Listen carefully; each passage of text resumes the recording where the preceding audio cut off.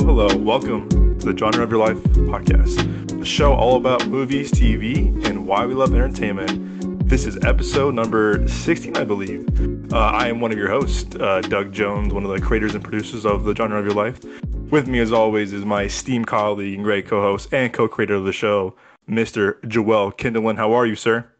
I'm good, sir. I'm good. How are you doing, man? I'm doing good, man. May the fourth be with you.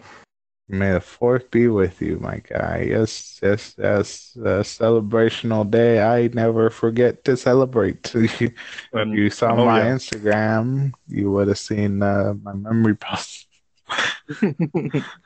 Dude, I still, I mean, before me and I know before we do the housekeeping, I, I I still have a good memory of just opening night Star Wars Episode Seven with you guys, and you know, 2015. yeah. That was just that was a fun day. Just like we were so hyped. Like we're like, I remember me and Sebastian like we ditched school early. It was like it was the day before final we uh before uh you know like winter break, and it was like seeing you and seeing TJ. Like I remember we like booked tickets in advance like weeks before, and it was already sold out. I was like, oh, this is gonna be crazy, and just the uh, anticipation of it all was.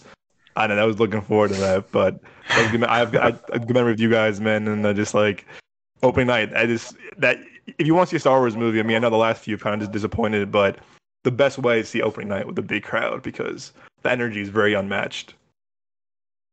Oh yeah, I remember after the movies, we got out. Sebastian was like, "I'm gonna use, I'm gonna, I'm gonna scream a Spoil. spoiler." We're like, Oh we're like, we're like, "Don't do that, don't do that." And then what he screamed, he didn't scream a spoiler, but he was like No, messing said- with people. No, he he he. I think he did. No, no, I think he goes. no, uh, he he R2D2 died. "Yeah, R two D two died." There as, as people were passing, we were like, "Don't do that, don't do that, that, uh, don't." Don't break people's hearts like that. Like I would be like, It's that uh, the- Is that uh, is? Simpsons episode? Remember the, the episode where Homer goes, he walks out of episode five. He goes, "Wow, I can't believe Darth Vader was Luke Skywalker's father." Everyone was, "Oh, come on, man!" yeah. Yeah, exactly. just like out loud. Um, again, hello everybody. Welcome to the show, or welcome back to the show if you're returning with us. Um, as always, you can find the show on your favorite podcast platform of choice, whether it's Apple Podcasts, Spotify, Amazon Music, or Google Podcasts. You find the show on there. If you want to follow the show on social media, you can find us at at Midway Avenue Productions on Instagram as well as TikTok. Uh, trying to grow the TikTok a lot more. Uh, we have a lot of summer movies coming up, so do a lot more reviews and out of theater reactions, definitely. Um, go find us on LinkedIn. Go follow us on LinkedIn, our kind of like our very fancy, smanchy uh, professional career page. We're also on LinkedIn.com backslash Midway Avenue Productions. So give us a follow there. And as always, if you can rate, follow us on your favorite podcast platform, give us a rating, give us a, a review. It helps us out tremendously. And as always, we thank you so much for your support and hope you enjoy the show as much as we do. All right, my guy. Like I said, man, May the 4th. May the 4th, we are now in May. Year, year's going by fast. And as always, Yes, man, it sir. is the day to celebrate and worship, not worship, but cherish the legacy that is Star Wars and the Star Wars franchise. Yes, And sir. I- And before we get into that, uh, I want to bring up something that's very important to all Star Wars fans, and if you just love, like, you know, the industry as well. Um, Carrie Fisher just recently Yes. got her star on the walk. Overdue. a way overdue, way overdue, which was very emotional, especially especially for Harrison Ford, and I'm sure Mark Hamill. I didn't see him talking. Uh, Mark Hamill was there. there. Mark Hamill was there. Okay, great. And, and her daughter, yep. Yeah, her daughter, and they were all there, and they were very, you know, reminiscent. and You could tell the pain for them, uh, and you know, because they were all really good friends for such a long Yeah. time, because they did so many, so many of the movies together, and then you know, with the characters like that, they had such a great chemistry, and you know, they they they they helped each other through a lot of hard times. I'm sure. Um, oh, dude, huge. yeah, and what was the cute thing was I'm pretty sure her daughter threw glitter on her star for her. I saw that. great. And she Yeah. wore a dress with her mother's with uh, mother's face on it, and it was very Oh, yeah. I didn't watch the video or the speeches yet, but it looks like a very beautiful moment of that. Her daughter was there. She spoke. She she accepted the award, and Mark Hamill was there. And it's kind of crazy that like that is so long overdue. I mean, she is such an icon. I mean, she. I mean, Princess Leia is such an iconic character for so many generations, and it's surprising well, you, that you like, gotta think about it like this. The problem with it is that there's a lot of celebrities that are past overdue that have not gotten things Mhm. such as, you know, uh, you know, Gram not Grammys. That's music. Um what what's the award that Oscars. uh Oscars, yeah, like Oscars stars as well. And the issue with the stars is that they wait until like a lot quite a lot of them die first before they get their star. Yeah, and there's some like that get him for like no reason. Like, no offense to any of the Sesame Street characters, but I'm like, come on now, you, you y'all didn't earn that. Like, Hey, actor, man, I'm sorry. actor, I was- actor, but not the. well, yeah, the character, yeah, but like you know, Sesame Street has been here for so long, and you know they wanted to. That's from. I feel like that's more of a tourist attraction type thing. Oh, little kids, be like, you know, because the kids are gonna be looking at the stars too, and they're not gonna know who the fuck. You know, the parents are being like, oh my god, you know. So they'll probably see like Big Bird and Elmo and be like, "Oh my god!"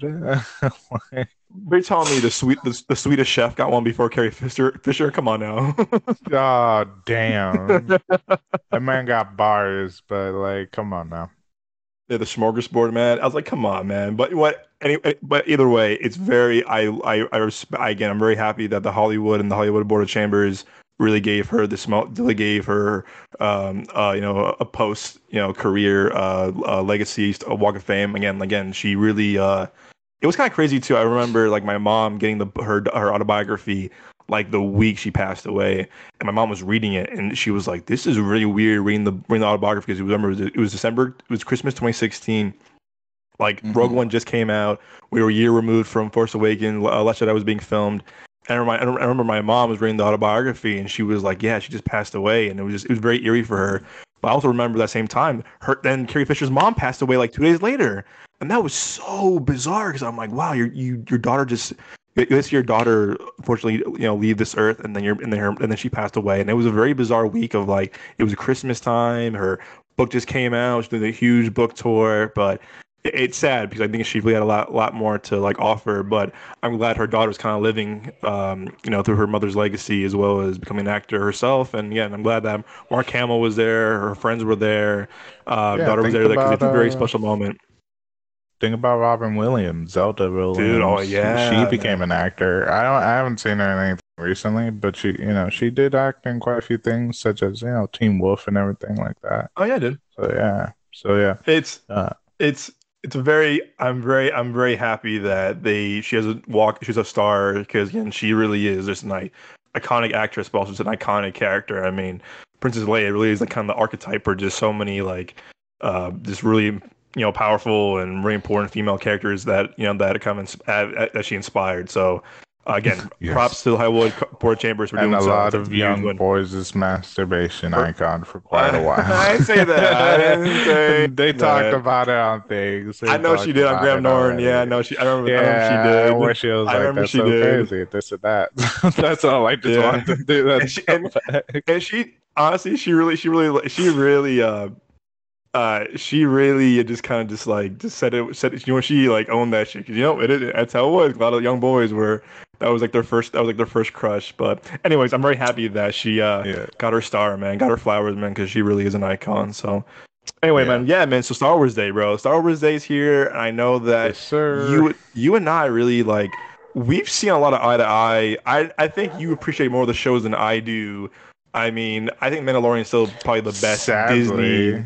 That I, because y'all are fucking dropping the ball. Those shows are fire, my guy. Those shows pop off. like I re- Uh. I really did. I really do like Mandalorian. I I couldn't finish, but excuse me, Boba Fett, and I and I know you. I think you appreciated Obi Wan more than I did. To I, mean, I love seeing um, uh, Ewan McGregor. Obi-Wan, yeah. it just to me it to me what i heard from the writers too was that since solo I mean, we, we'll, we'll get into this later but since when solo flopped they they had to rewrite a lot of stuff because they were like, it's not a movie anymore. I mean, I get it. I think the the, the narrative format of the TV show was definitely a better route for sure. But again, mm-hmm. like we, like we mentioned in the previous episodes, I'm not a fan of Kathleen Kennedy, and she really has a thing of like, I don't. She goes, uh, oh, um, uh, I don't, I don't like that. It's gone. It's like you gotta let these creators create, and I do think you let you're letting Dave Filoni and Jon Favreau take take the ship, and also, um, oh my god, his name? Uh, Rick Famuyiwa, as well as Bryce Dallas Howard. They're really good filmmakers, and I think she trusts them. But she's not giving a lot of other people kind of a fair chance. And you know, we, we just had a Star Wars celebration a few weeks ago, and I, I didn't mention on the show a few weeks ago, but I wanted to mention this was that she announced so many new movies and shows, and I'm like, in my head, I'm like, none of these will ever happen because she cancels everything.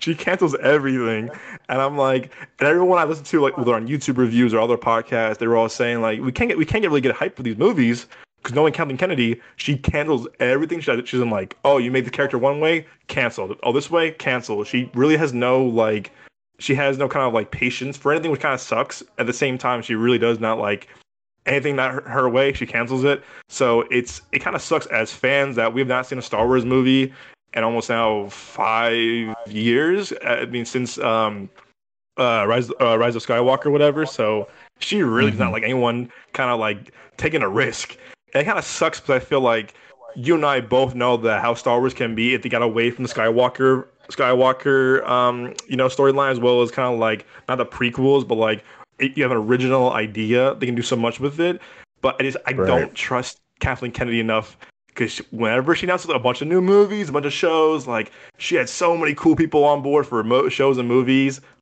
canceled and it's like well that sucks because it's like really kind of like unfortunate because you want to see these people do original stuff within the universe I don't know, man. How do you feel mm-hmm. about right now the Star Wars like how it is right now, and like this it's kind of like the status of like what they've been putting out on Disney Plus, are and you know, are you talking about the live action shows and everything? Oh, anything. Um, I mean, how you feel right now? Start in general. Okay. Uh, let's see. With Jon Favreau and Dave Filoni, the only reason that Star Wars, they're the, really the only reason that Star Wars is surviving and oh, that's yeah. not excluding the writers and everything, you know, with the other cast. What I'm talking about is that their their visions as directors and you know producers are um have been you know making a lot of things come to life which is always mm-hmm. great always happy to see it you know um because you Sorry.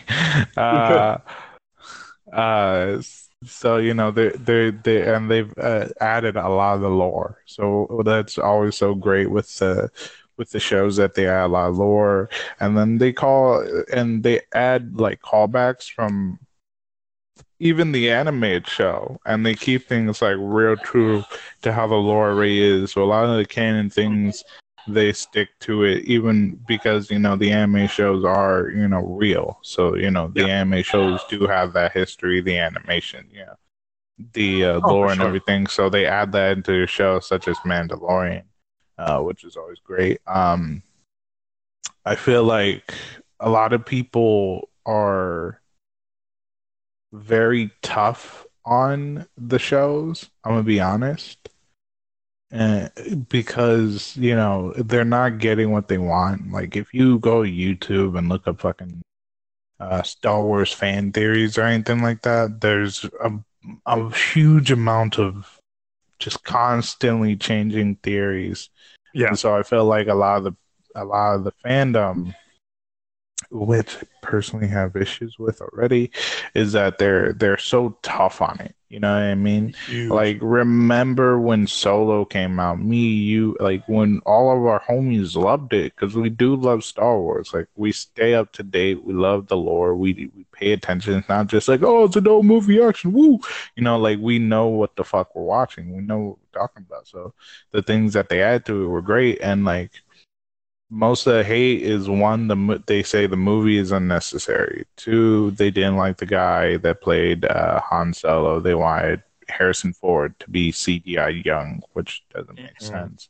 You know, but other than that, there's no real reason for them to hate on it. You know, like that's all I ever see is it was unnecessary. And it's like, all right.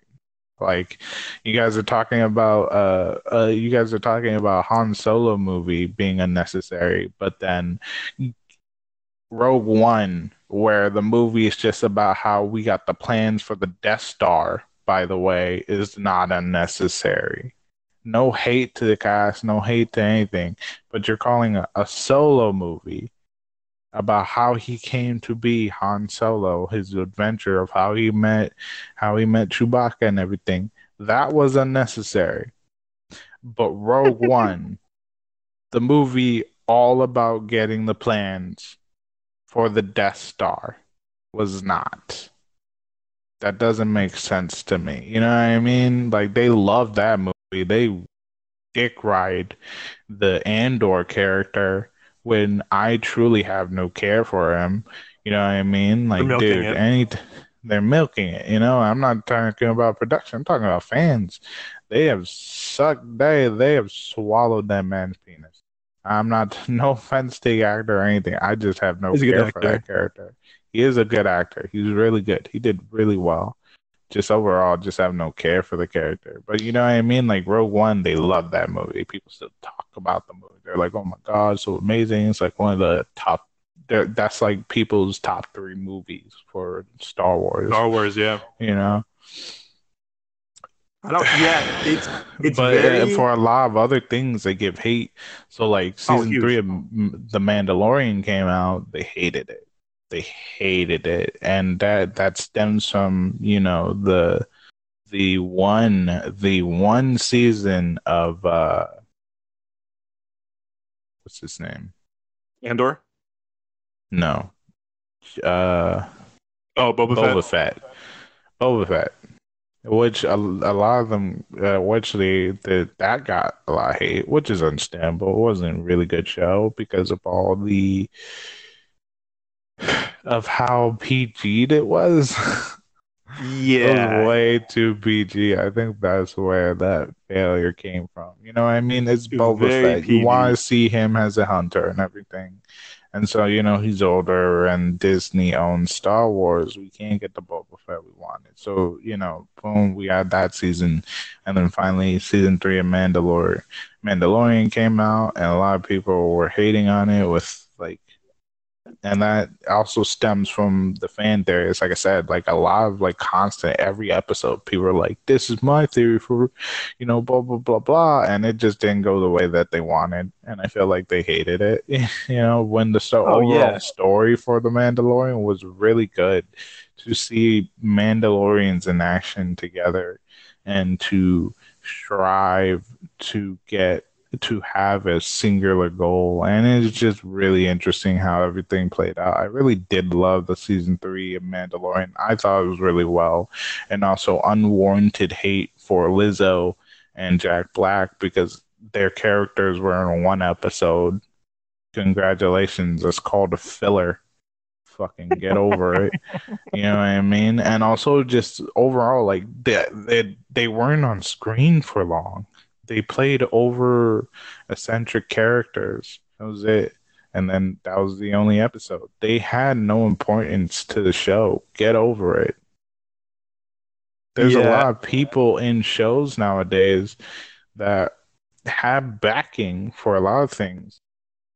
You know what I mean? Like where the characters are important, yet you don't see hate. But with Star Wars, there's so much hate, and a lot of these actors and characters get a lot of hate. You know, the same with the kid. The I won't call him kid because he's older than us. The guy who played Han Solo, you know, in the Solo Oh movie. yeah. The actor who did Jar Jar Binks, uh, what's Hayden Christensen. Hayden Christensen, uh, the kid who played young, you know, Anakin Skywalker, like he got Oh, a shit ton of hate. Like you gotta focus on not letting the fandom warp your opinion because our the fandom is toxic. The fandom is horrible. We have shown hate again and again and again, and like you know, growing up, I followed that. Not like be like, oh, like fuck these character, you know, people, but like, you know, like the the the prequel movies with Anakin and Obi Wan, I I didn't like. I was like, oh, those are bad. In reality, I watch them again. I was like, they're fine. I actually truly enjoy them. You know what I mean? And people give like Driver Binks, but these actors are getting a lot of love. But at the same time, the new actors and new characters are getting a lot of hate. You know what I mean?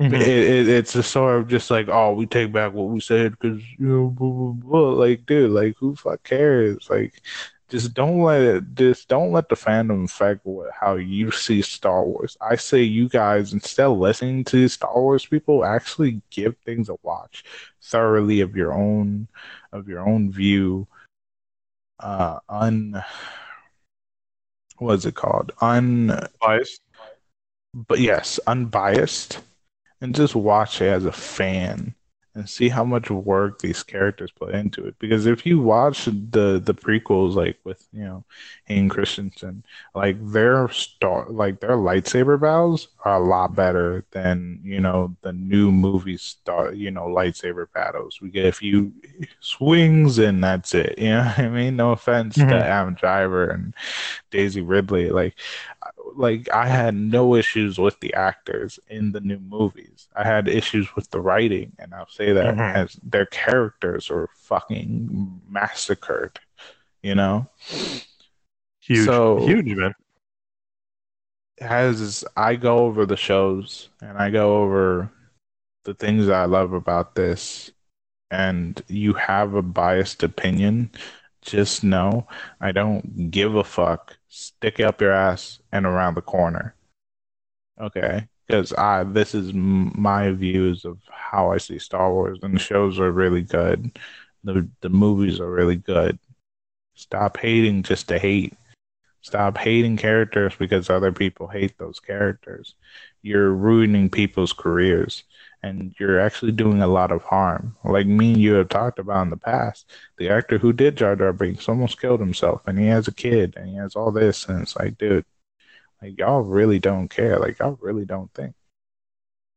No, yeah, it's very toxic, and that's why, like, you know, you can say all this stuff on Twitter, and when it comes to it, you're you're just like, yeah, you just you wouldn't say this to people's faces, and it's like people feel comfortable that they can say it on like Twitter or Instagram or whatever, and it's like oh, and it's it's very toxic, and it's sad because you know it's we should be celebrating the franchise that really kind of like like the original franchise. Like I feel like Star Wars was Star Wars kind of the original franchise of like the big blockbusters that kind of just like has been going on for what now 40 almost 40 yeah 45 years now which is like Oh yeah, forty five mm-hmm. years, which is crazy, man. So forty, maybe a little more than that. They, I know they celebrated the 40th anniversary of um, uh, Return of the Jedi last week. I know you, you showed me that video, like, oh, coming back to theaters, it's Return of the Jedi, which is really cool. I'm, I'm bummed that we couldn't go see that because that yeah. would have been a cool experience. Um, but at the same time, it's uh, yeah, it's I, you know, it's I think there's a lot of room to grow and improve with the franchise. Um, I do think to this yes. day they um, they really did get they kind of they they they did a lot of things dirty in the new in the sequel trilogy, but they really did not give John Boyega, who plays Finn, a fair chance because he had so much like really cool. Oh yeah, first movie, he, Force Awakens, one, dude. Like, here's the one thing I do agree with the fandom on is that they killed John Boyega's character, who was supposed to be a Jedi as well. Yeah, and he was supposed to have such a bigger role in Huge. this and also Daisy Ridley's character got destroyed in the making because they wanted her to have they the, the romance. The the they wanted her to have the romance, which was unnecessary. No one wanted, no one was like, "Oh my god, you know what Luke Skywalker was missing? Romance." Like no one did that, you know, but they wanted to follow his footsteps and they wanted to do the weird romance. And then I know in uh, almost everyone's head, they're like, they're supposed to be cousins. This is weird. you know, I, they, yeah, because that because everyone's just like you know because when she had the flashes of the past, you you you you saw a robotic. You know, even though it, it was glove, R two D two was there. You know what I mean? Mm-hmm. when she when she yeah when she it was it, hard to explain this, but basically that was supposed to be Luke Skywalker's daughter. You know what I mean, or, or whatever, and they took that away. So a lot of these characters got over just dumbed. They killed off Snoke because let's be honest, it Way wasn't too supposed easily. to be Palpatine. It was not, and now we have this whole cloning Palpatine thing. Somehow Palpatine returned. That's, that's so bad dialogue, dude. And I love JJ, but come on, man. Like JJ really got it fumbled wasn't the bag with even that dialogue. JJ's fault because that was what. Well, yeah, no, they did. Yeah, he, oh, he Somehow was the one that returned. came up with that. Oh yeah, but God. he he had to do damage control. I He did. really don't find he he got No, it wasn't his fault. with what came.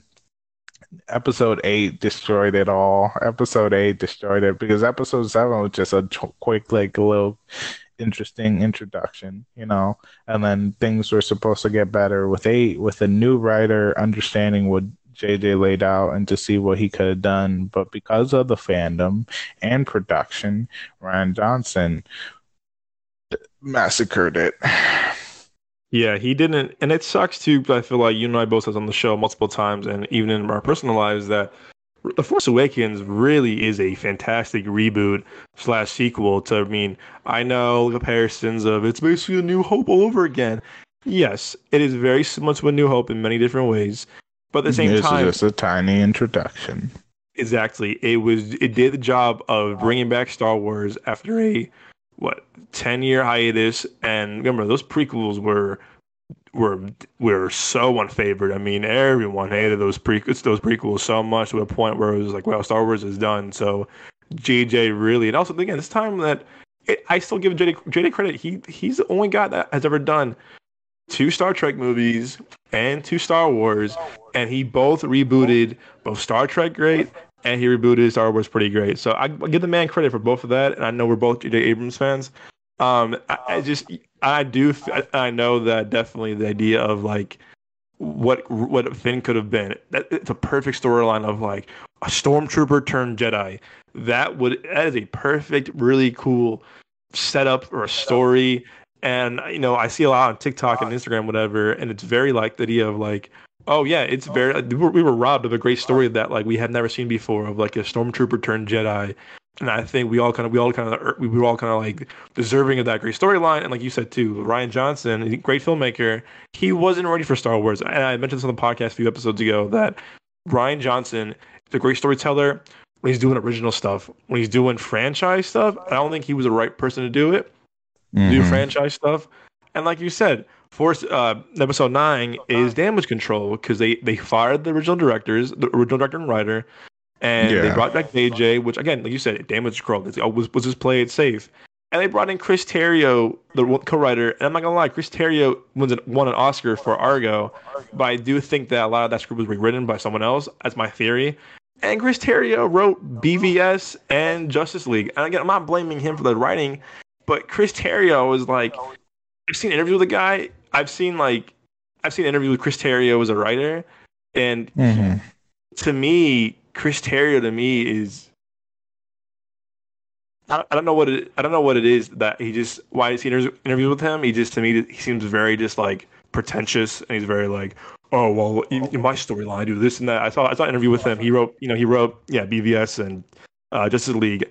as he interviews with him. He's very pretentious, and he's very of like, well, in this storyline, like he's kind of talking down to you. And I'm like, oh, JJ, you, out of all the people to co-write this with, you picked him. And people praise him. Again, he has an Oscar. I know he's an Oscar for Argo, and I love Argo. But I mm-hmm. truly think Ben Affleck rewrote that script. Again, it's not confirmed. Don't at me. But I'm like, you see a lot of his work, and I'm like, dude, this guy, this Terrio guy, really to me, really has no kind of like appreciation for these, for these these franchises. And I get it. You, you want it. You have Snyder doing his thing. You got Jada doing his thing. And I've seen things that Terrio has written, and I'm like, dude, you are not the guy. And again, I can't I can't say shit because he's an Oscar and he's a he's a full on writer in this industry. Mm. Props to him. But I'm like, dude, you really don't understand these characters, and it shows. And Right.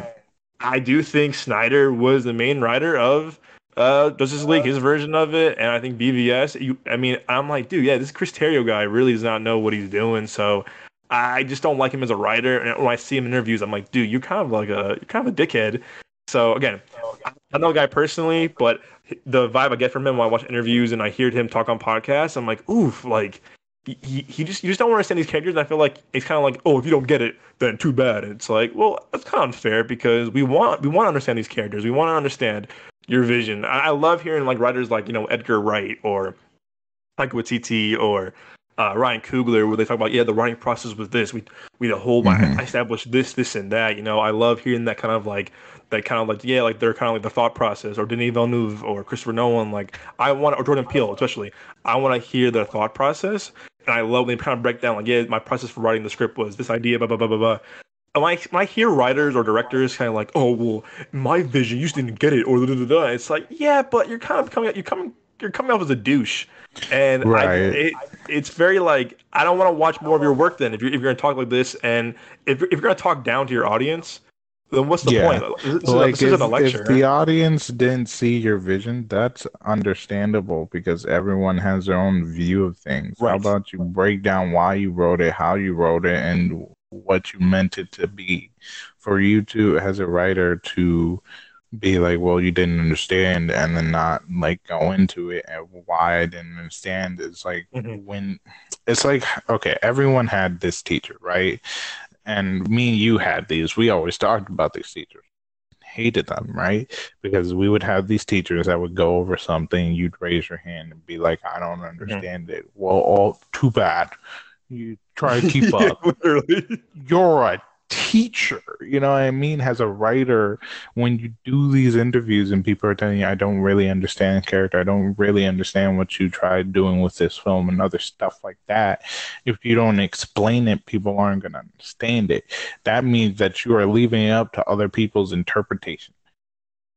Yeah, dude. I don't get mad at them for being wrong because you decide to leave it like that, you know? Thank you, Joe. Exactly. You said it spot on on money, man, because I just you can't get mad, and it's well again you wrote the script, and I remember when when JJ was brought back on, I remember you know, you know I texted you know I talked about this you know years ago, and I was oh cool he's coming back. I'm like who's his co-writer? Chris Terrio. Again, this is before the Snyder Cut came out, and this is like right after this is right after Justice League. This is like after BVS, and I said, oof, like yeah he wrote Argo and stuff, but I'm like, what does he know about these characters? And again, like I said, it shows in episode nine, like you said, it's damage control for sure. I don't. I think with you know with Episode Seven, Force Awakens, you know, similar to Dave Filoni and Jon Favreau, the writers that were brought on for Force Awakens, they knew these characters, and it was yeah Abrams, and it was Lawrence Cast Lawrence Kasdan who wrote, um, who was written Indiana Jones. He's written um, Empire Strikes Back, which is the best Star Wars movie, you ask me. So oh, cool, and mm-hmm. they also have a good writer. Um, oh my gosh, he wrote a lot of good movies too. I'm trying to think of his name. It's uh, Michael. Oh man, it's he wrote he wrote Catching Fire, which is the best uh, Hunger Games movie. Michael Arndt, who wrote he wrote Star Wars: Force Awakens. He wrote Hunger Games: Catching Fire, which is the best one, and he wrote Toy Story 3, and a lot of other good stuff. Uh, he's he's a, he's a great resume of stuff. And I'm like, cool, you have two great writers on board with JJ cool, this is a great thing. And then with with mm-hmm. um, Last Jedi, you had Rian Johnson writing solo, and I don't think I don't th- well yeah George Lucas did I guess George Lucas wrote things on his own too, but I think I think where Rian Johnson failed, similar to George Lucas in the prequels, is that they were so caught up in their own like. This is how I see it. If you don't if you, if you don't like it, you don't like it. It is what it is. And like you said, Joe, it's that caused so much like it definitely took away from the franchise. And I remember hearing an interview with again. I love Rian Johnson. I think I love and I love Knives Out. I love Looper. I love things he does. And I, but I do remember like I remember an interview where like someone asked him a question and he goes, "Oh, your Snoke theory sucks." And I was like, "What?" And I'm like, I'm like, wait, dude, wait, hold up now. And it's I think, like I said, he suffered where George Lucas suffered from too, is that they were so caught up in their own like like vision of this of this of this world that oh if you don't like it oh too bad. And again right. you're the filmmaker you're the filmmaker you have you are the captain of the ship you can do whatever you want. But to me mm. i think you may feel the same way. It's very off-putting because i don't want to see a filmmaker say well this is my vision da, da, da, da, da, kiss my ass. And i'm like yeah. And i do think rian johnson again i said before on the podcast i said a few minutes ago rian johnson was not the guy to get for episode 8 I think they should go No. with someone more experienced. because Or- we we talk about it, you know, as as Star Wars fans Mhm. and not just movie lovers, is that for episode seven, right when uh when Kylo was talking to Snoke across a galaxy, this man force grabbed him, dragged him all around the floor, but died. Was by the way talking about knowing Kylo, understanding him being in his head, and then getting chopped in fucking half, and that's it. Was ridiculous. you know, It's too was easy. ridiculous. It was It's way too too easy. easy. Like the biggest, baddest dude in the galaxy currently, who can force grab someone from across the galaxy that Yoda can't even do. They killed. could have. They could have done so much more with Snoke, and you and you have Andy fucking Serkis, dude. Andy fucking Serkis, who is a phenomenal actor. I mean, the motion capture he's done in the past 30, 20 years, 20, 30 years is amazing with Gollum and Caesar from Planet of the Apes. let's also talk about how he can still to this day transition from character to character to character without a break. By the way, because I, Without a you- break. if you watch his, his with his interviews, he's went from Gollum to other characters that we know and love, and come on now, like you killed off this character, this character that could have been huge for him, What a way waste. bigger, so huge, who would have been a powerful Sith to had. Instead, we had to get rid of him, and we had Crybaby Kylo uh, talking about trying romance I'll tell you. I'll tell you what too.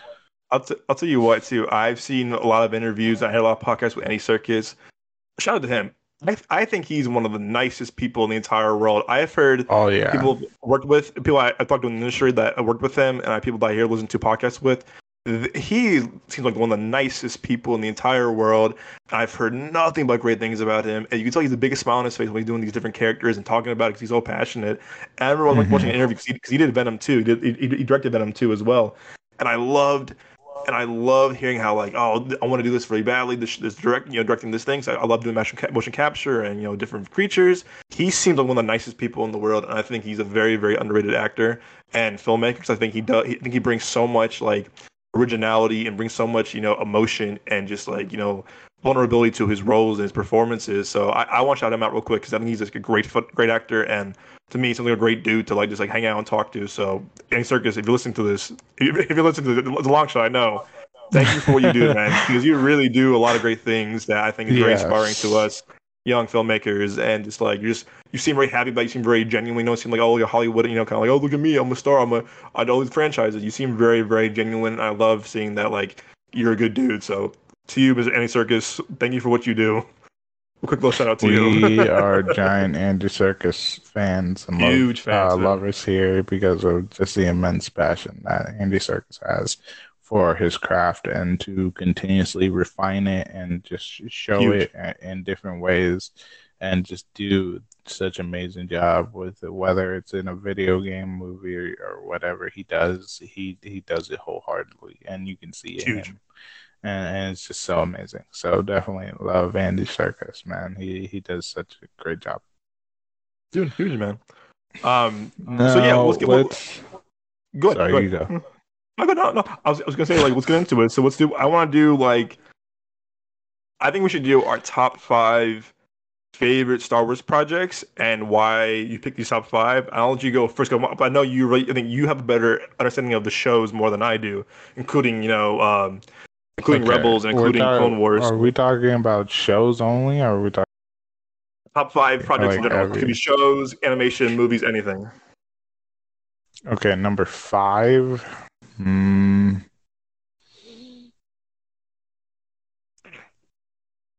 Let's see.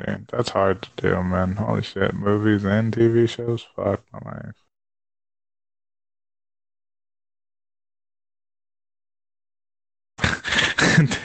Shit. I watch way too on the spot, much to where it's like, dude, I gotta go through my fucking archive right now and just fucking, yeah, I mean, hacker Yeah. eyes of shit. Oh god, dude, I never put this shit. I never really do like top five stuff. You know me; it's always very hard. You on the spot, dog. I watch so much, and I do. Oh fuck. Okay, hold on. Let me think. Um, fuck five. Okay. Uh, it's gonna be Star Wars Rebels. Mhm.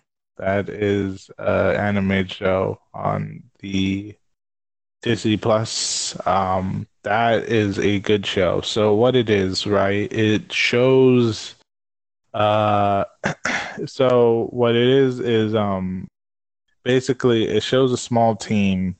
Uh, after they find a force sensitive kid who lost his who doesn't know where his parents are hasn't seen them in quite some time and uh turns out that one of the people one of the leaders in the group is uh is uh is a jedi who survived order uh 66 uh, has a uh, youngling, you know, not has a Padawan, he, who was a Padawan, whose master sacrificed herself for him, and he got away from the troopers and survived and now he's an adult and you know it, it, throughout the show they just sort of show more things. It's very kiddish obviously because it is a cartoon in a way but if you just pay attention to the lore and everything it really does show everything and it reintroduces darth maul later on in the show okay but it's, it's such a great show i loved it so much um uh, and it just goes over quite a few things. So yes, that is definitely number five for me. Um, shit, shit.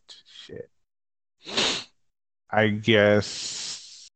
Oh my god, there's so much to go over. uh fuck. Okay. Uh, number four will be Bad Batch.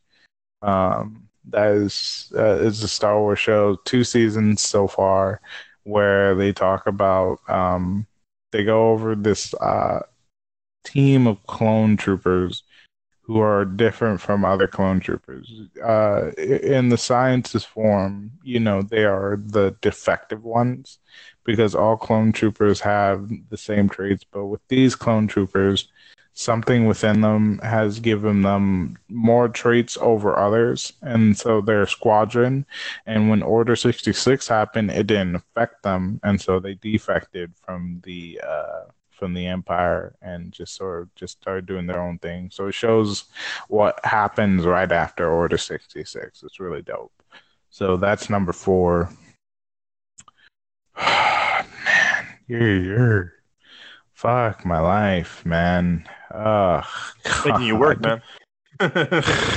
Because I gotta think about this. Truly, I, go, I, I, I, can do five and four if and you want. for anyone fucking remember uh, is trying to fucking think about certain thing. Uh, what's not in my top five is Rogue One. I could fucking promise you that. no, great, great movie, great acting, not there. All right. Uh, three is going to be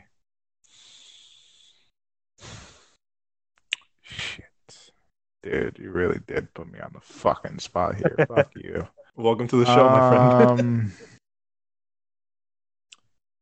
shit.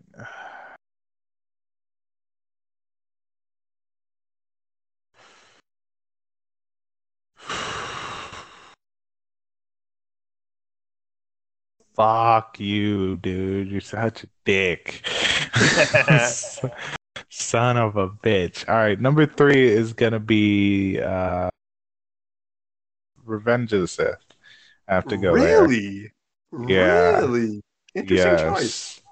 Because it shows where everything truly went wrong. You know how how at the end of the Clone Wars, how at the end when the Jedi finally were supposed to win, finally were supposed to win, enacted a long out plan, right? And they, it, it just shows, and you gotta love Hayden Christensen and and Ewan McGregor because they at that that last scene with them two fighting, you know, is honestly astonishing. And there has, I feel like, in a movie, there has not been a fight, a, a, fucking, a fight scene, a lightsaber fight scene as well as that one, where they're going, where they're just at each other because it's not only are they both really strong Jedi, but it's because they've known each other for so long.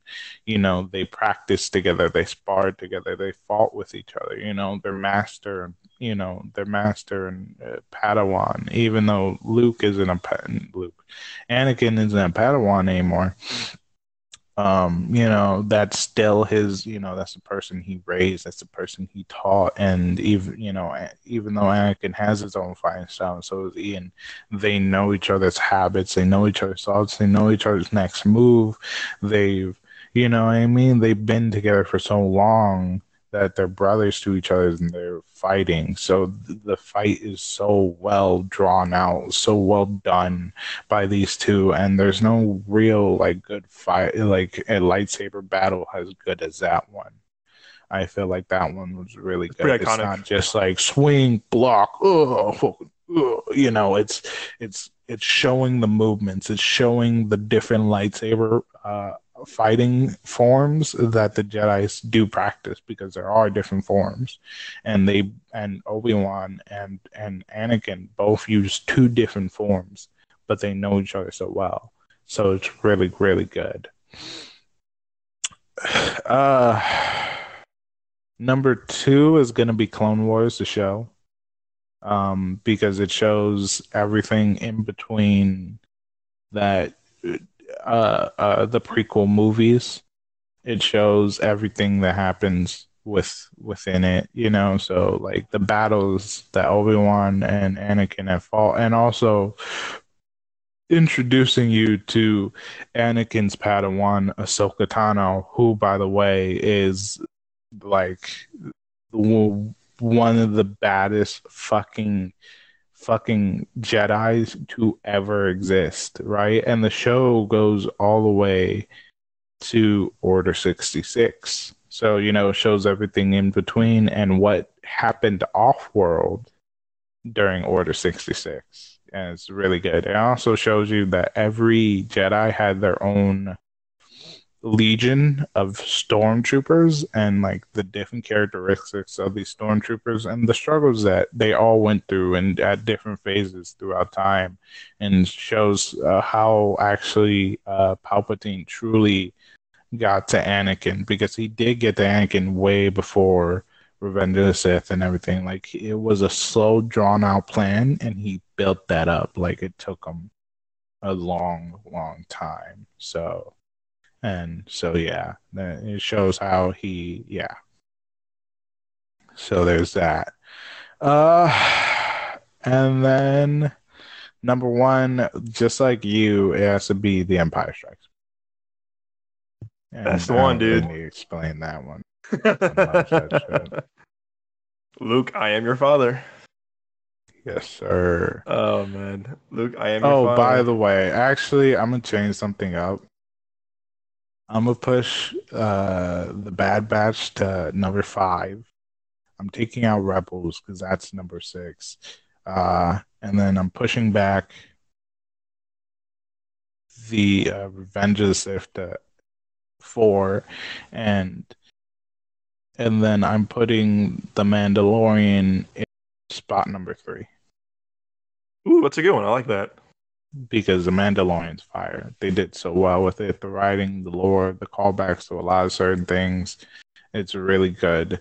Uh, and just the characters that they built. Also, season three is fucking fantastic. Fuck off to all the haters. Dude, do you remember when we tried watching Mandalorian when you came out here to visit for me on my birthday? Like when Mandalorian dropped and you you had Disney Plus because they Verizon or whatever. I remember everyone was watching it and it kept crashing. We are like, no, cast, cast the Apple TV, and it kept crashing. And everyone was oh, watching dude, Mandalorian, dude. So and it kept, kept crashing, not buffering because everyone was watching it. We were like, dude, like, why is it not playing? And it was like Twitter was like, uh, Disney Plus is, is is like is not working because the shows came out. Like we do, I remember we tried like so long. everyone so was watching it, dude. Everyone, everyone was watching like, it, no. and it kept crashing. I was like, no, fucker, no, son of a bitch. Like, no. Um, good Uh, list. yeah. It's a very good list. I, I was a very I like how unique that list was. It wasn't like a you know like oh look at Rogue One's the best movie or Last Jedi was the best movie. I like that it was very like Fuck very unique. no. Like, I like Rogue. Rogue One is really good. It is. It's really good. It was to me an unnecessary fucking movie because I never gave a fuck. I never been like, yeah, I oh my either. god, I wonder what they went through to get the fucking plans for the Death Star. Like no one asked that, but everyone asked like, like I wonder how Han Solo became Han Solo, and then hate that Yeah. but loved Rogue One. Like, come on, fuck, fuck off. But uh, no, no hate to the actors, no hate to the writers. Like it was a good movie, it really was. Me, just me, it, it wasn't a movie that I'm just gonna stick by, and I haven't watched Andor because I don't really fucking care for that character. Yeah, I tried. I tried. It's It's Yeah. not a show Alright. for me. all right. And So again, no hate to the actors. yeah, It's a good show. it's Just it doesn't draw. It, it it has no draw to me. Like most people that watch like the Book of Boba Fett and like you know the Clone War show and like o- uh, other things. Like everyone has their thing. So don't give us hate for our our likes or dislikes. You know, you have your own opinion. We have our own opinions. This podcast is all about opinions without judgment. You know what I mean? And Oh. we're just expressing that our opinion of what we truly like on May the Fourth for Star Wars. all, all film and TV is subject is sub, is uh, subjective, man. It's the beauty of film and TV that you know you can like what you like and, and like you, and don't like what you don't like. It's a it's a beauty of it, and I think we. I think we, I mean, when we established the show, the first few episodes, we all said was, you know, that's the beauty of entertainment is that, you know, you can not like something that people like, and that's fine. You what? You can have a conversation about it. It's not a big, like, oh, you- you're wrong. You didn't like this movie. Da, da, da. And I feel like that's very, I've been, the, I think you and I both been in those circles where it's like, oh, you're wrong. You're wrong. It's like, no, we're not wrong. We just didn't like it more than you did. And that's fine. And like, again, if someone hates your favorite movie, is what it is. It, it, it's their opinion. And I do feel like a lot of people don't appreciate other people's opinions as much. I- mean, in general, but also with film and TV, especially. But you're right. This show is all about hearing our opinions. You don't like, you don't like it. But we're we're all just film geeks and TV nerds. I just want to talk about our opinions, and it's a beauty of discussing film and TV because you know what? All film is TV is subjective, and you can like what you like and, li- and hate what you hate. I said it. Um, um, all right. So for me, I it's tough for number five. It's a t- it's kind of it's a really close tie between Mandalorian and Solo. I really love Solo, and I really do like all the cats. I love Woody Harrelson. I love Emilia Clarke. I love Thandie Newton. I love I love Donald Glover as young Lando. That was just perfect casting, and I love the whole dynamic between the whole cast and uh, Chewie and Han. And I think that movie gets a lot of hate for, like said, no no apparent reason. Um, and I love the movie so much, and I still breaks my heart that you know Phil Lord and Chris Miller, who've done some amazing things like Twenty One Jump Street, Twenty Two Jump Street, Lego Movie, Spider Verse, uh, The After Party, they, uh, Cloudy with Chance of Meatballs. They, they, they are so creative. and They're so like very quick and witty. They're very very funny dudes, and I'm so bummed that they were pulled off the movie 85% done and they got like their credit was like a special thing or like executive producer and i'm like y'all should have let them finish their movie because it Mhm. really they're just so creative and I, I love hearing them on podcasts they're so passionate about their storytelling and who they pick as their characters and it shows all their projects i mean look they they won an they won an oscar they won an oscar the same year solo came out for spider-verse and again, this is why I have a problem with Kathleen Kennedy. You gotta trust your filmmakers. These dudes won an Oscar for a fantastic Spider-Man animated movie that has so much heart and so much so much passion in it. And they made two of the best comedies in the past ten years with the Jump Street movies. And you and you fire these guys almost on production. And these guys hired Gambino. They hired Alden Ehrenreich. They hired the cast. They had such a great thing going. And again, Kathleen Kennedy fired them and created differences. We don't know, but you know? I give these guys respect. They they have. I mean, that from that. I mean, behind closed doors maybe, but on podcasts, on shows I've seen them in, they have never said anything hateful or like, "Oh man, fuck Star Wars" or "fuck Kathleen Kennedy." Like, no, they were like, you know what? We walked away from it. We, also, we were we were let go. It is what it is. We have no hard feelings, and that's very very very smart of them to like, oh man, f this franchise. It is what it is. And guess what? They won an Oscar the same year as Solo did. So good on them. Uh, again, I'm really impressed with these guys. Um, but I think Mandalorian might be number five because I feel like, like you said, too, covered pretty well. It's you know I when that came out because it was the first Disney Plus thing to be released. Again, we were in my apartment 2019 in November when that dropped, and we were like, "Oh my god, we can't wait, we can't wait!" And you know, Pedro Pascal wasn't really a household name. I mean, he was a lot of things that we've seen, but we like no one really knew who he was. I think that I think that show definitely put him on the map. When you know, Last of Us kind of like elevated his career. But Mandalorian for sure, like I just it's that first episode is why you love Star Wars. And I think Yeah. Jon Favreau, Dave Filoni, and I love that they brought in people like Taika Waititi and Bryce Dallas Howard, and they brought in Rick Famuyiwa uh, to really have kind of shepherd this series. And I'm still watching season three now, and I'm liking what I'm seeing. But those first two seasons are just perfect Star Wars. You have um, Juan Carlos Esposito from you know Breaking Bad. He's a phenomenal actor. He's such a good villain. He's such a good villain. And I He do is. love um, Katee Sackhoff as Bo-Katan. I love um, Oh man, uh, there's this. Hold on, I'm sorry. There's this. There's this meme that was going around during the season three of uh, the Mandalorian because you know Bo-Katan is back in the show, and like you know, there's the main it's like, how are you gonna like someone? He wears a helmet all day, and then and then, and then it shows like the scenes from uh, Bo-Katan like walking around. It's like sexy lady, and all that shit. Like the song plays, where you're just like, ah because man is she oh my god uh, Great oh, actress. don't even get me Great actress. she's a great actress, it's Actress.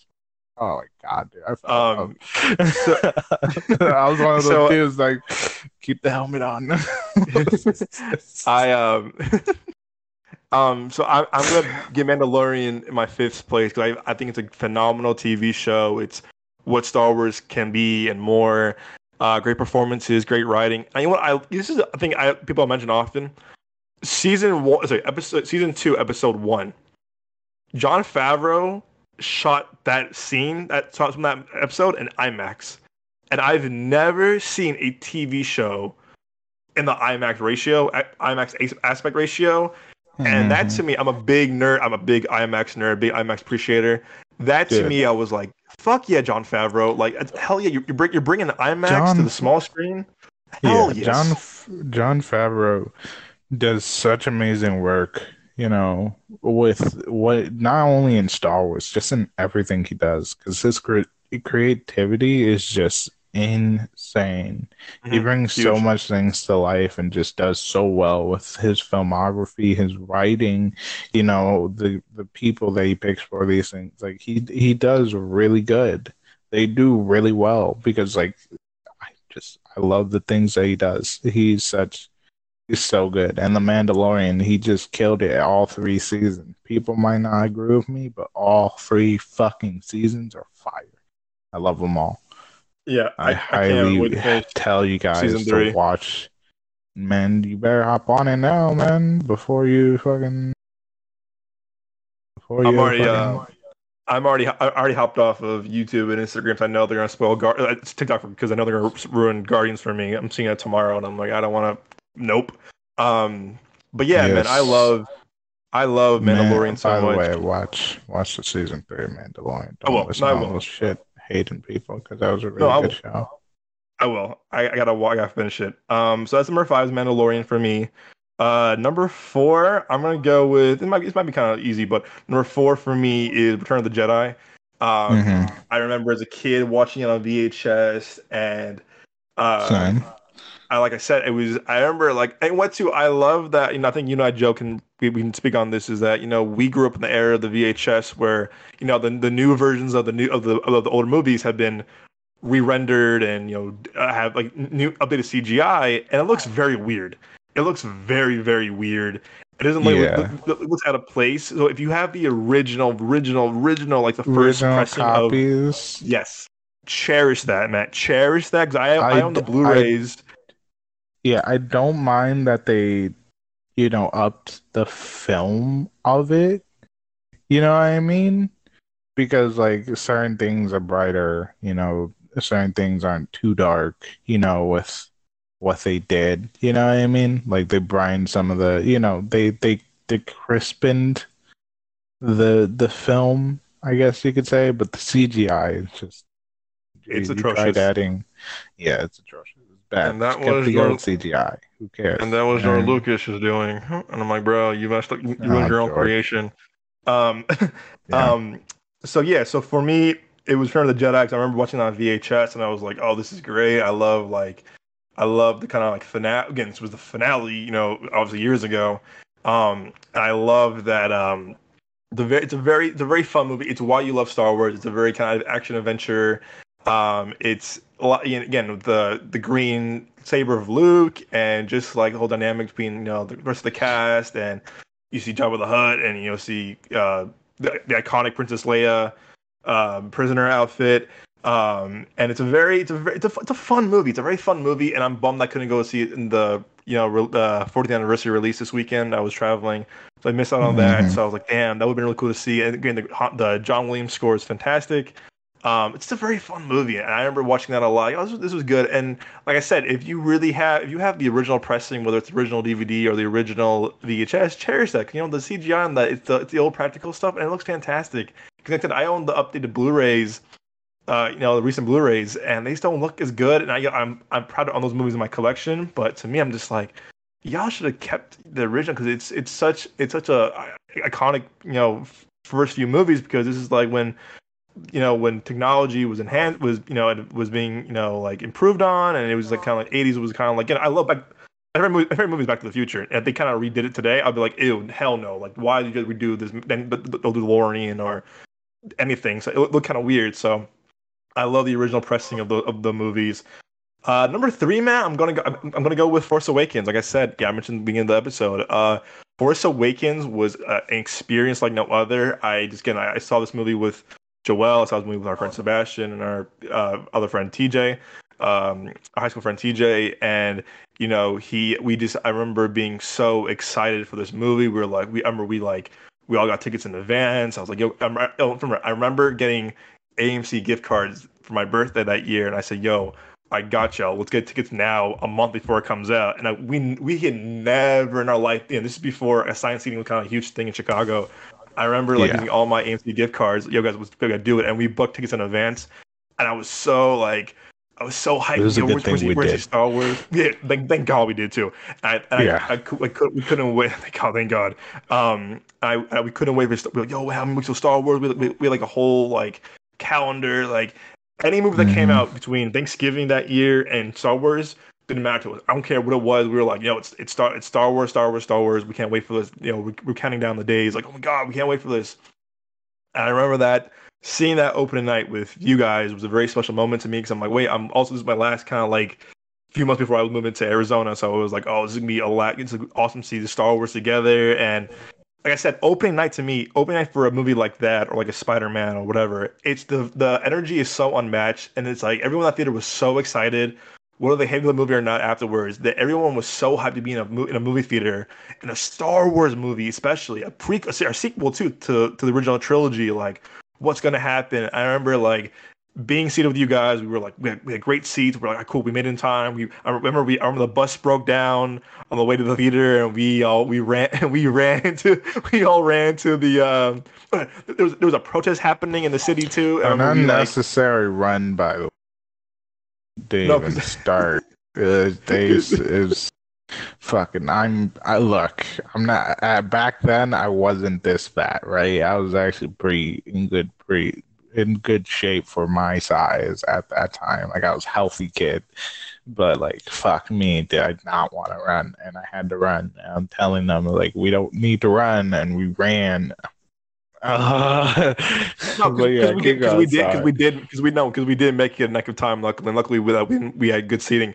Um, no, but I remember like yeah. there, there was a protest going on. Our bus broke down. We're like, fuck. We're like kind of like blocks away. I remember we kind of like we hustled up to the theater. telling and- everyone we did not need to run. though.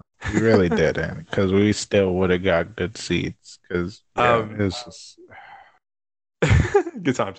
Um, so anyway, going to that theater, I remember sitting next to you guys in the middle of you guys, and we're like, oh my god, we can't wait. What- What's gonna happen? Whatever. And the lights go down, and you see you see on the screen, uh, um, uh, uh you you see uh a long time ago in a galaxy far, far away. And I'm like, I go- got like goosebumps or whatever, and it goes, dun, dun, dun. And I remember, I remember TJ and Sebastian humming, the singing the theme, and Joel was like, "Oh God!" it was so funny. 'cause Joel was like, oh, they're singing, they're singing, aren't they? And I was like, yes. And you go, of course they are. Um, it was just funny. And then like I, I remember when like you know episode seven, Force Awakens, and I remember like everyone, everyone was clapping, people were standing up, like, like being on a rock concert, like oh my god, like Star Wars. And I remember like re- reading like the opening crawl, like yo, Luke Skywalker has vanished or whatever. And when it ended, me and Joel were like, "Fuck, that, that was a great crawl." I'm so into this because you know because you don't know what Star Wars movies are like before you go into the before you see the crawl. And you and I were just like, "Fuck yeah, dude!" Like that, that was a great opening crawl. And just that to me, that movie was just very special to me. I was so excited to be with you guys, and I just it just the, the introduction to a new generation, seeing Han Solo, seeing yeah Carrie Fit, seeing uh, Princess Leia, seeing Luke Skywalker, seeing yeah R2D2, CP3, C3PO, and Chewbacca back. It just it's a very it was it was nostalgia done right while introducing a new era of characters and a storyline. And because this was part one of the new trilogy before we knew about Last Jedi and, for, and Rise of Skywalker and it was so exciting to see this great movie. Again, we're all big big to Abrams fans from you know Super 8, Mission Impossible, Star Trek, um, and Lost. So it was just really fun seeing that movie. And again, I, I cherish that movie a lot because it was so much fun. The visuals were amazing. It was just again, like I said, we were so hyped at the time because we were like, wow, we're seeing a Jedi turn, oh sorry, a Stormtrooper turn Jedi. We're seeing new characters. We're seeing Kylo Ren. We're seeing like, oh, like he's the son of. Again, spoilers. It's been a couple years now. He's the son of Han Solo and Princess Leia, and he said Snoke. Who was Snoke? Whatever. And it was such a great first movie to to an unfortunate eh, trilogy and I just love. I, I watched it. I, when I watched it again and again, it just I feel so excited to see like, oh yeah, like the lightsaber fights, and there's a great scene where like Finn's fighting a stormtrooper when the traitor scene going on, and there's no music. It's just them fighting, and it's perfect, and it's such a great script, and it's such a good good music, and the uh, the sound sound design is perfect. Cinematography is beautiful. It's a very very great Star Wars movie. It's why you love Star Wars, and it's unfortunate that set, that eight and nine couldn't couldn't follow how amazing that was. So again, to all the haters are saying, "Oh, it's basically it's basically a New Hope all over again." It's very similar. Yes, it's very similar. But to what Joel said earlier too, it's introducing, it's bringing back Star Wars. It's reintroducing you to who Star Wars is and bringing new bunch of characters to the big screen. So, um, I just I love that movie so much. And for two, I'm gonna go with the original. Obviously, uh, the first movie started off, which is A New Hope. I remember watching that movie as a kid with my parents, with my dad on VHS as well. And I was just like, wow, I was mesmerized. Ken, how I was mesmerized with like you know Back to the Future and movies of that era. was just like, wow, like this is what movie, this is the magic of movie making. This is why we fall in love with movies. This is why you know movies make us feel bigger than larger than life and make us feel like you know like movies kind of like in a way raise you of like yeah like this is like this is like this is how imagination can go so far. This is the beauty of imagination if you put your mind to it. Like you know you can create worlds. I think it's a very First Star Wars is a very inspiring tale of what you can do with imagination and you know, with sci-fi and fantasy. And you know, I, if, if I had a time machine, you know, from the, DeLore, DeLorean time machine, I would go back in time and watch that movie for the first time. Not on VHS, but like go back in time and watch it in theaters because I feel like that would have been such a cool experience to like be in line, not knowing what this is, what's going on here, and just like kind of just being blown away. So uh, I'm definitely going with uh, A New Hope for my second choice. My first, like Joel too, was Empire Strikes Back. I had that on VHS. It was a really cool VHS. So Darth Vader's uh, mask is staring at you. It was very haunting at some time when you were a kid. I just love that. The, you know, you open up on the on the ice planet.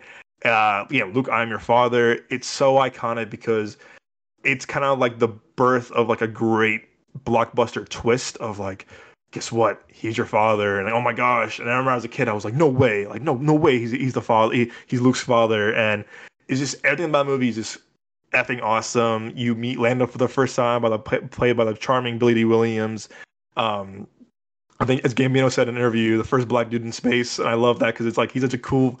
Lando's such a cool character. He's very cool. He's very suave. He just like you love him too. I mean, it just that movie to me works on so many ways. The great battle between Luke and um, and Darth Vader. It's a great, great movie, and I just that is like the epitome of Star Wars when you watch it. Of like, this is just what a a fantastic sequel, a fantastic sequel to like kind of like show like sequels can be this good if they if they do try, and you know put their put effort and heart into it and not be lazy with it. And it just it just again, it is really the epitome of a blockbuster and why we love Star Wars and why we love why we love a good sequel and why we love a good villain, a great you know dynamic between the characters and the the good guy bad guy like the perfect trouble good guy bad guy so empire strikes back to me just it's just it's a, honestly a near perfect movie if not if not a perfect movie it's a perfect star wars movie and you know to this day i remember i remember hearing our interview one time like oh last jedi is the next is the next um uh empire strikes back. And i'm like no it's not. Far from it. Far from it in a galaxy not from this galaxy. So i don't i don't see that whatsoever in comparison but Empire Strikes Back to me is literally what Star Wars is to me, and I don't think any movie can come close to it. I mean, Force Awakens is definitely up there, but I don't think that uh, nothing will ever top Empire Strikes Back. So, like I said, Empire Strikes Back is my first. New Hope was my second. Third is Force Awakens. Four is what I say? Four was um, Return of Jedi, and five was Mandalorian. And again, honorable mention for me is definitely um, Solo and like I said, Solo's a great movie. It's so much fun. It's a great summer blockbuster. It's a popcorn movie. The casting's fantastic. Everyone brings their A game. Again, I'm a huge Donald Glover, Childish Gambino fan, so it works for me on so many different levels, and I, I love that movie so much. So, to all the haters, it's a great movie. I know it's unfortunate that movie flopped really hard at the box office. I think that was piss poor marketing and also bad timing on Disney's part. I think they should have waited because you released that movie shortly after Last Jedi, and Last Jedi had everyone in distraught and very torn. If I was them, I would have waited longer. If not Christmas, maybe a little bit later in the summer. It was too soon, so it's unfortunate. But I do have a special place in my heart for um, for Solo, which is a very very good Star Wars movie. And yeah, man, that's I need to finish season three of Mandalorian when I have a chance too. That was that was a good list, man. It was real good. Yeah, Fucks with it. Uh, what was I gonna say? Um, yeah, man. Star, you know, like I said, I I think we're both looking forward to seeing what they're gonna bring.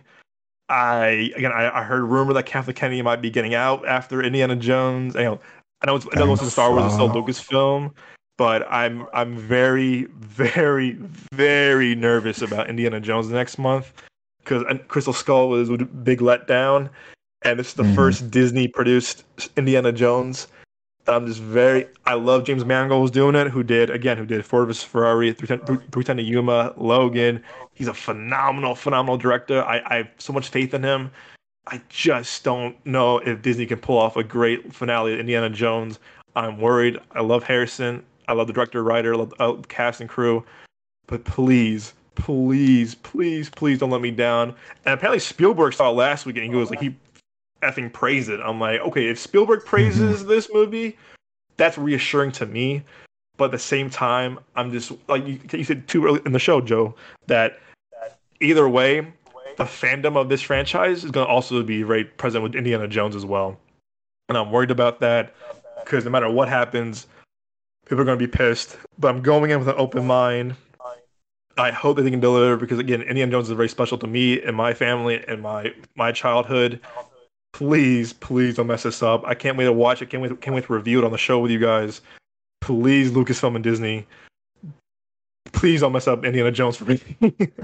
I'll, I can't. The heartbreak to me would be too devastating for me. I, I definitely would cry a lot. So I'm looking forward to it. June 30th can't come soon enough. If I go to a screening of it, I'm gonna be so excited. If not, I'll be there opening day Two with my days family. after my birthday. Please, please, for Joel's birthday, Disney and Lucasfilm, do not mess up Indiana Jones. I beg of you, please, please. This is like Harrison Ford's last you're, like big you're, action movie. You're you're asking the wrong thing, as I have I know, hated dude. on Disney throughout this whole entire fucking podcast. No, you have. no, you have. you're I'm, asking I'm them to do a favor for someone. I'm on my knees not, begging you, please. Uh, you should have never said it was for me. You fucked up. I know. That, that's gonna be some. That, that's not gonna be worse than Crystal Skull. I'm gonna be like, well, I asked for, for it. but please. Um, uh, yeah, man. I, I, love I love how people talk about Crystal Skull nowadays, where it's like that Indiana Jones was not needed. Oh, because they all would have died anyways. oh yeah, too, that too, and also again, you know, you know who scrapped everything before production? George Lucas. And I'm like, oh. Apparently, the original script of that Crystal Skull was like amazing. Like it was like one of the best scripts ever. And they said that George Lucas said, nope not my Indiana Jones, and rewrote everything. And I'm like, bro, come on, dog. And, I, I, just heard that he just was obsessed with aliens and that he wanted that to be the the the, the story, whatever. And again, I, if, if I can find the original script, Indiana Jones Crystal Skull, I will read it. Pro- read it, definitely read it. But it sucks that um that we got got that. I, I love Shia LaBeouf too. I mean, I'm fortunate that like he, he won't be he won't be returning to this franchise, but it is what it is. Um, but yeah, movie is not. That was a movie I remember as a kid watching with my parents in theaters, and I've never seen them like react to that movie before to a movie like that before. We walked out, mm. and I remember my parents were like, "That movie sucked." And as a kid, I was like, "Damn!" I've never seen my parents have that kind of like reaction to a movie like that before, and I was like, "Wow." My parents were like, "Hell no!" They were like, and they, they're big Indiana Jones fans too, and they were like, "Oh hell no!" And I'm like, "Oh wow!" My parents didn't like the movie. That's not a good sign, but uh, here's hope for the new one, man. I, am I'm hoping that yes. Dial Destiny can deliver and bring us back while we love Indiana Jones. And I can, t- I can hopefully pro- Lucasfilm can prove us wrong, but don't have high hopes, unfortunately. But I love Indiana Jones. I love Harrison Ford. yes, sir. Yes, sir. Oh man. All right, man. What's, you want to do our my friend? You want to do our one on ones of the week? Actually, before we end it, I thought we can do what you wanted to do from the beginning and talk about one more topic that isn't Star Wars. Uh, I think we're saving for next week the summer movie next watch week? list. Yeah, I'm, okay. Uh, we'll save it for next week. I want, I want to dive more into that for a full episode. I want to dive into like, like a whole, the okay. whole episode.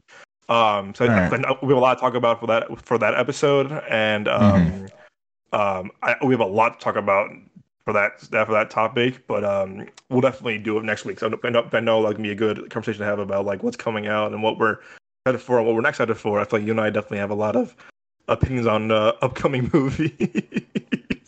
okay. Uh, yeah, sure. I got you.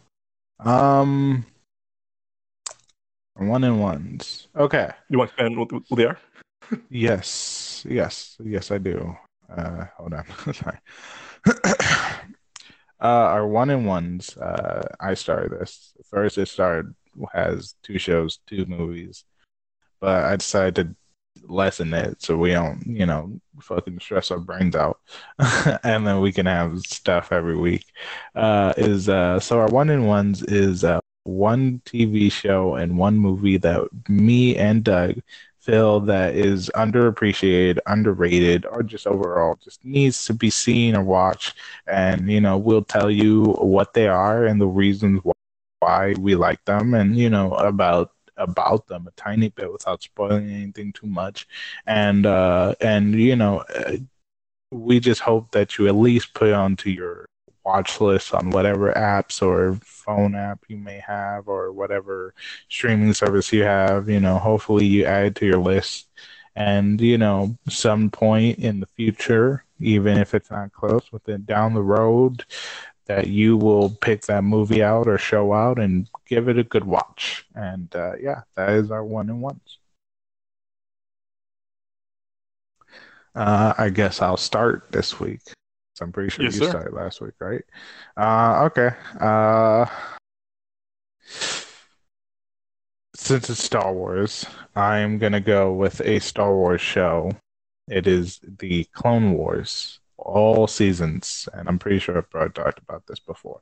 But if you are a Star Wars fan that has no interest in going around trying to figure out the uh the the uh if you if you if you want to find out about the lore, history, and like a lot of things that happen within the Star Wars universe, um, the Clone Wars is really good. Uh, it talks about everything that happened during the Clone Wars. You know, Anakin becoming a master and training Ahsoka Tano and everything that led to to the fall of the Jedi, but also just these characters of how they became who they were and it really does expand on this uh, the universe. So, like a lot of things that are in the movie, they talk about within the movie, uh, talk about within the show, and just overall, it's really good. A lot of characters that you would not expect, and it expands more on a lot of characters, such as Darth Maul.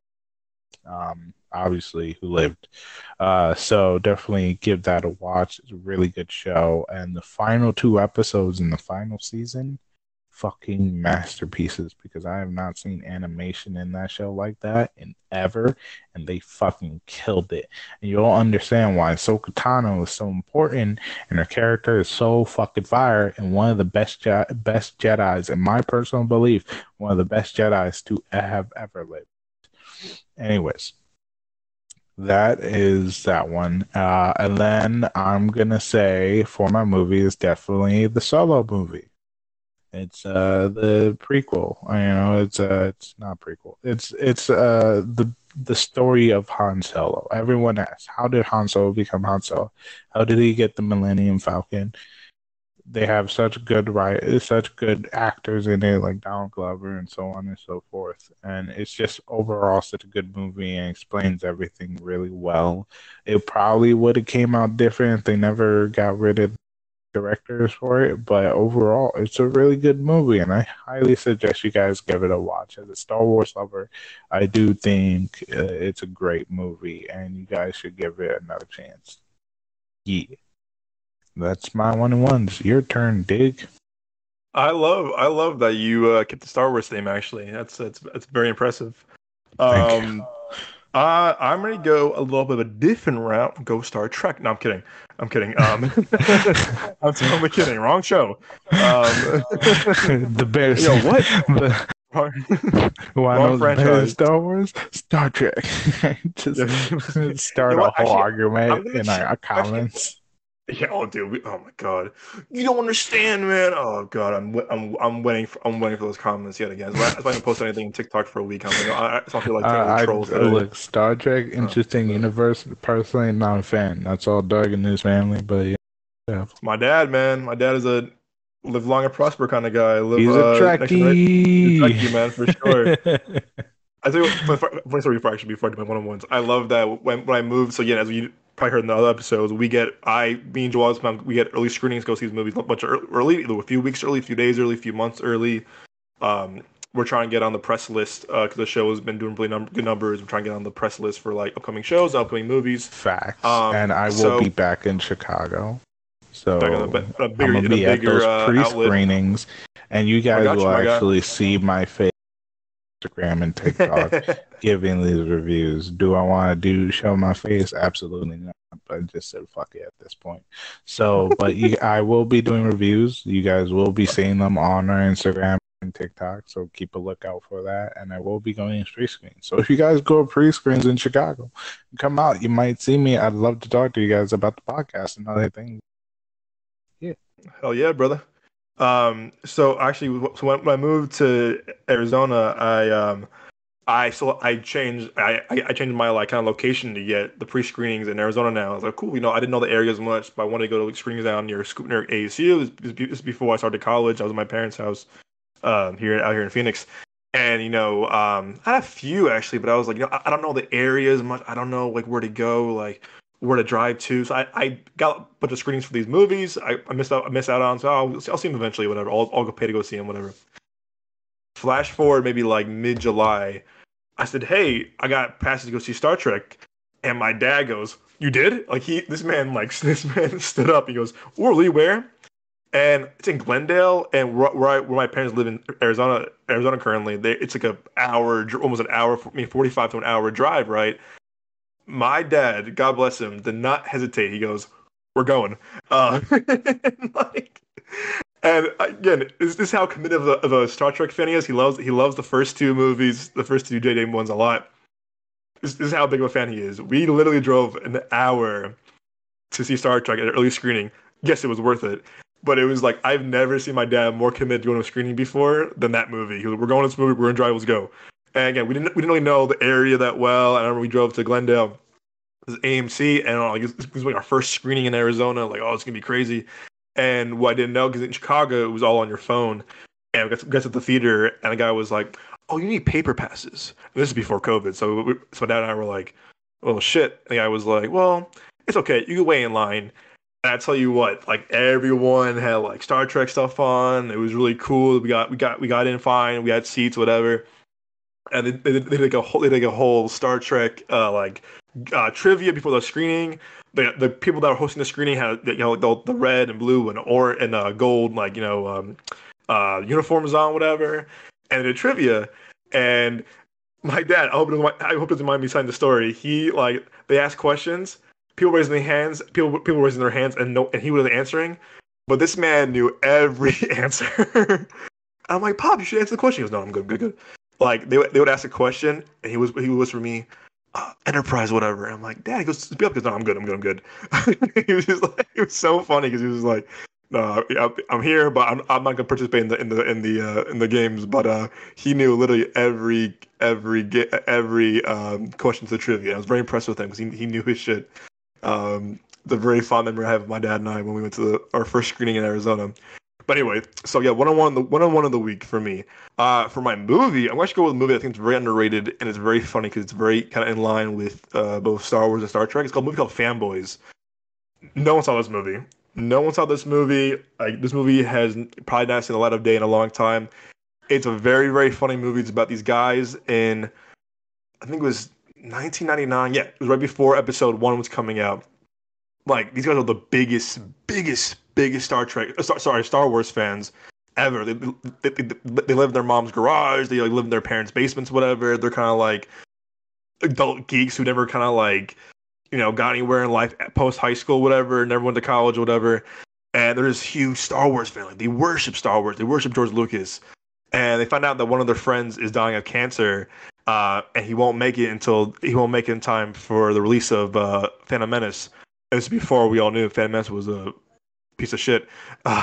um, so they trek from I think, I think they're in Detroit, whatever. They're in Detroit to San Fran to go to um, Lucas Ranch, whatever, uh, Lucasfilm, Lucas Ranch, whatever, and like so many shenanigans go on. They run into like they run into like uh, pimps and hookers, um, um, and like um, star- like, angry Star Trek fans and angry angry fans, and so many good cameos from like uh, Billy Dee Williams, Carrie Fisher. Um, uh, I'm trying to th- um, who else? Uh, Jay Silent Bob, Kevin Smith, and Jay Mewes. Uh, Seth Rogen's in it, a lot of different characters. It's a very, very odd movie, but it's really funny. There's a lot of heart to it. Like I said, no one saw this movie. It has uh, Dan Fogler from uh, the uh, Fantastic Beasts movie, uh, Jay Baruchel from you know, How to Train Your Dragon. This is the end. Um, she's out of my league, knocked up, uh, and then bunch of unknown actors. Uh, but like, there's a gr- so many great cameos. And if you're a Star Trek, Star Wars fan, I highly recommend this movie. It's so funny. It has so much heart and it's extremely underrated. Um, and again, it's the, it's the guy. Um, the guy who wrote it is the author of uh, Ready Player One, who actually, who actually wrote the screenplay for the for the for fanboys. And it's again very charming. Craig Robinson's in it. Uh, Will Forte's in it.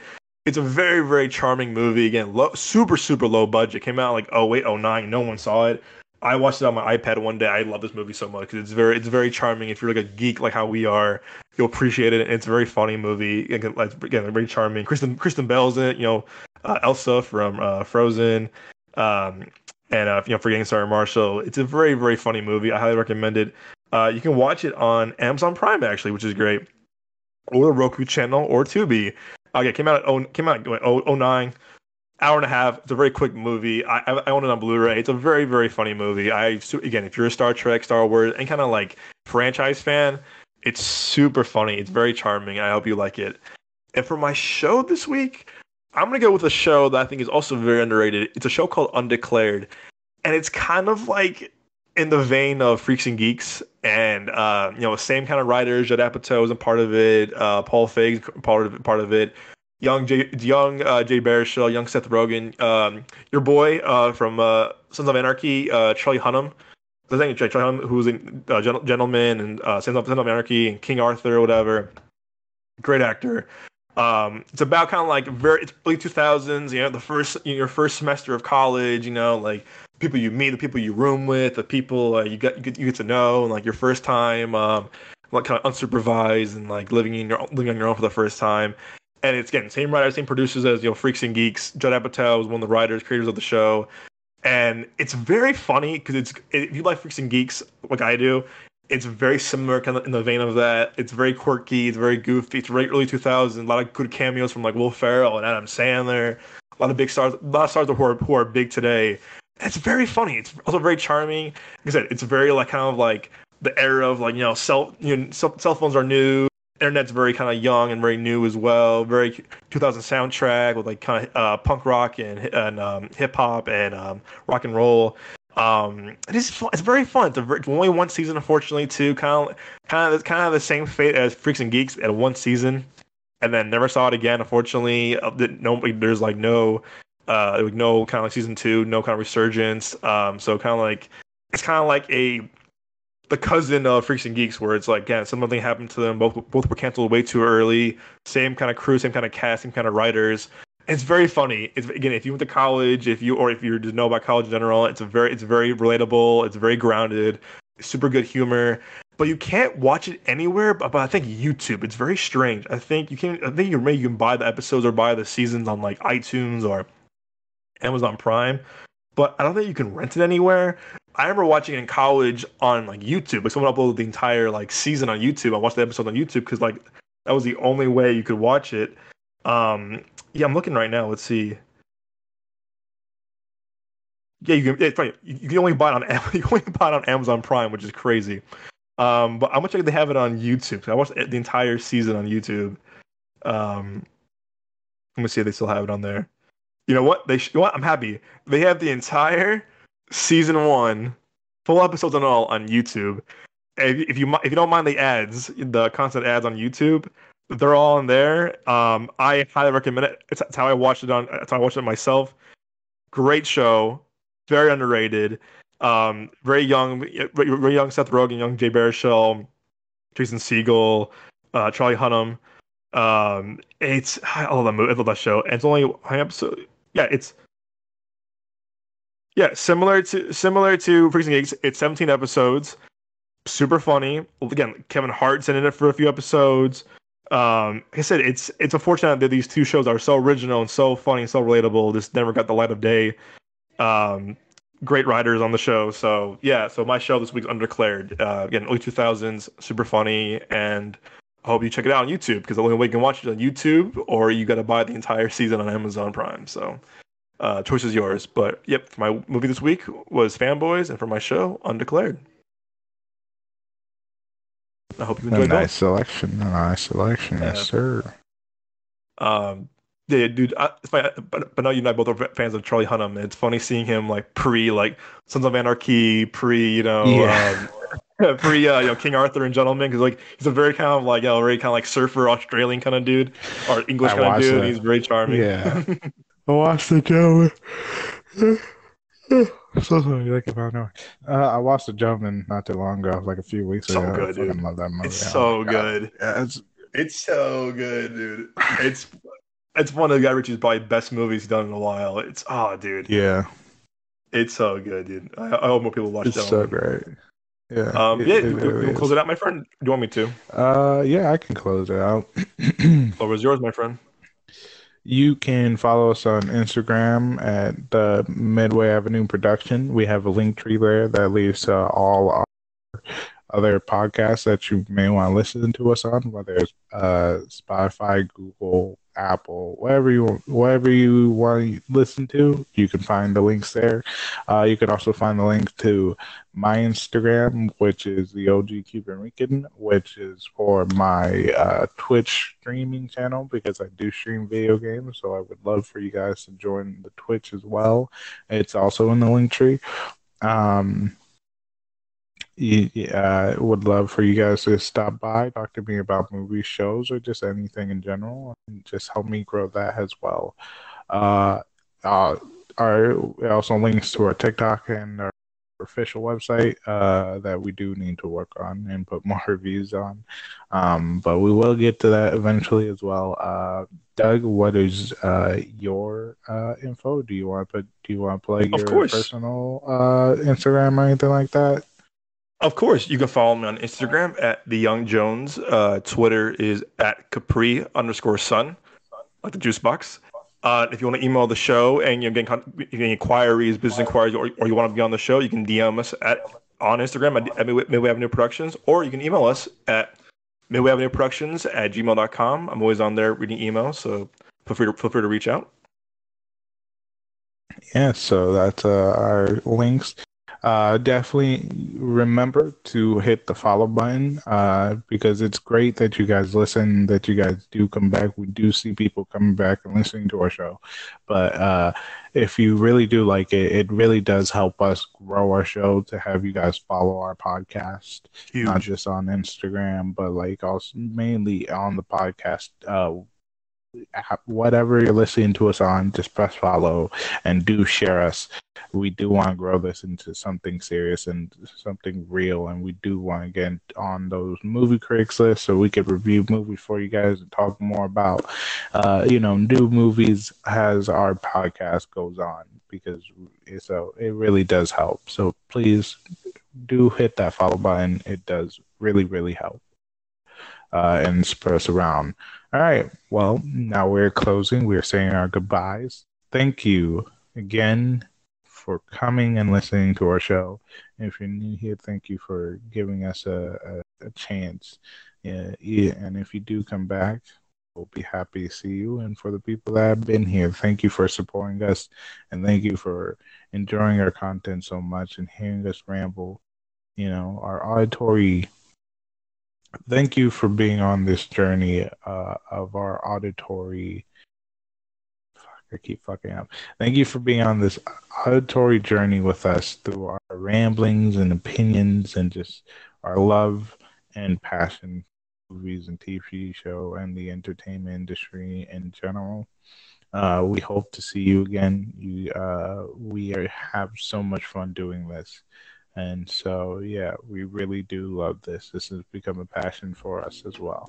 So, you know, to continue sharing our passions with you guys, we do hope you guys, you know, come back and uh, keep, keep enjoying listening to us uh, ramble on and on and on. Um, we love you guys and thank you for joining us again. Have a good night and may the fourth be with you.